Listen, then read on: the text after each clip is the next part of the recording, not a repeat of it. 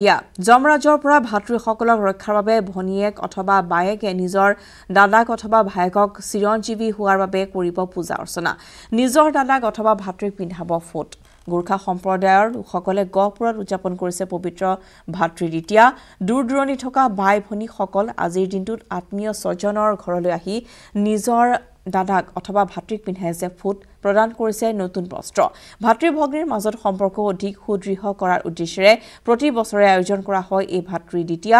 সেই উদ্দেশ্যে কপালত লগোৱা হয় চাউলৰ ফুট যাক কোৱা হয় ভাইফোঁটা বা টিকা লগোৱা। এনেদৰে আনন্দময় পৰিৱেশৰ মাজত গহপুৰত উদযাপিত হৈছে ভাতৃ দ্বিতীয়া। আগবাঢ়িছোঁ গহপুৰৰ পৰা এই সন্দৰ্ভত পলাশ ফুকনৰ এক ৰিপৰ্ট। হয় আজি যিহেতু ভাতৃ দ্বিতীয়া আৰু ভাতৃ দ্বিতীয়া উপলক্ষে মই গহপুৰৰ বাকৰি দলনিত উপস্থিত আছোঁ। নিজৰ ভৈনীয়েকে আচলতে আপোন দাদাকক আজি ফুট লগাব বা ভাইটিকা বুলি কোৱা হয়। গোৰ্খা সম্প্ৰদায়ৰ লোকসকলে এই ভাইটিকা উৎসৱ পালন কৰে। এই এই মুহূৰ্তত মই এটি পৰিয়ালৰ বাসগৃহত উপস্থিত আছোঁ। এই পৰিয়ালটিৰ সকলো আত্মীয় কুটুম আজি আহি উপস্থিত হৈছে। যিহেতু আজি ভাইটিকা এই মুহূৰ্তত আমি দেখাই আছোঁ। আচলতে সকলোবিলাক ইয়াত নীতি নিয়ম পৰম্পৰা আচলতে ৰক্ষা কৰিছে এই পৰিয়ালটিয়ে। এক সুন্দৰ দৃশ্য আচলতে ভাতৃ ভগ্নীৰ মাজত আচলতে নিজৰ ভৈনীয়েকে নিজৰ ককায়েকক এনেদৰে আচলতে ফুট পিন্ধাইছে। এই মুহূৰ্তত আপোনালোকে প্ৰত্যক্ষ কৰি আছে। আমি জানিব বিচাৰিম দাদা কওকচোন যিহেতু আজি ভাতৃ দ্বিতীয়া। আপোনালোকৰ বাই ভনীসকল আহিছে বহু দূৰ দূৰণিৰ পৰা।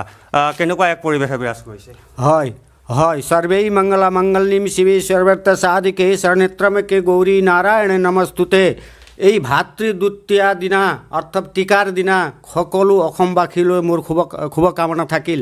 আৰু আমি এই ভাতৃ ভাতৃ দ্বিতীয়াৰ দিনা ইমান দূৰৰ পৰা আহি ভনীহঁতৰ বা বাইহঁতৰ লগত হাতত টিকা লগাবলৈ লগাবলৈ পাই আমাৰ সুখী হৈছোঁ। এই ভাই টিকাটো আমি পবিত্ৰ। আমি যিমানেই দূৰত নাথাকোঁ ইয়াৰ পৰা লণ্ডন আমেৰিকাত নাথাকোঁ এই টিকা দিনা আমি সকলো ভনী বা বাইৰ হাতত টিকা লগাবলৈ আমি ঘৰত আহি পাওঁ। এই পবিত্ৰ পবিত্ৰ ক্ষণত সকলো অসমবাসীবাসী এনেকৈ টিকা লগাই বুলি মই আশা ৰাখিলোঁ। আজি কওকচোন আজি ভাতৃ দ্বিতীয়া আজি ভাতৃ দ্বিতীয়া হয় আজি আমাক ভাই ভাইক টিকা লগাই বহুত ভাল লাগিছে। আমি বছৰৰ মূৰতে ভাতৃ দ্বিতীয়া পাওঁ যিহেতু আমি মাৰ ঘৰত আহিছোঁ। ভাত ভাই দাদা ভাইটিহঁতক টিকা লগাবৰ কাৰণে। সেইকাৰণে ভাল লাগিছে।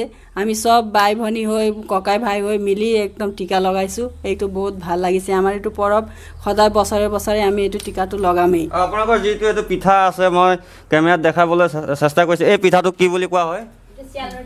চিয়াল ৰুটি চিয়াল ৰুটি বুলি কয়। এনেই আমি ঘুমানে ঘুমাকো ৰুটি বুলিও কওঁ। মানে পকোৱা পিঠা মানে পিঠা বুলি কয়।